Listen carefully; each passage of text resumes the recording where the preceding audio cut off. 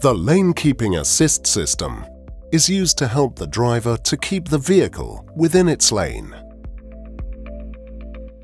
To enable the system, the user needs to open the Driver Assistance menu found in the onboard touchscreen display, select Lane Keeping Assist, and then the Settings icon to set the system sensitivity.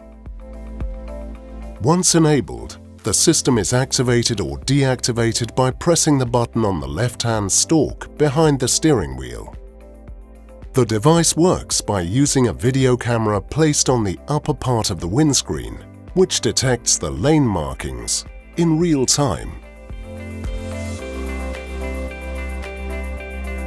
If the vehicle approaches a lane marking without the driver having used the indicator, the system alerts the driver to the risk by means of visual and acoustic signals and by causing a slight vibration of the steering wheel. It also invites the driver to correct the vehicle's trajectory by applying a slight tug on the steering wheel. If the driver has used the indicator on the other hand, the system does not intervene. The system also intervenes if the driver's hands are not on the steering wheel for a few seconds by means of acoustic and visual feedback.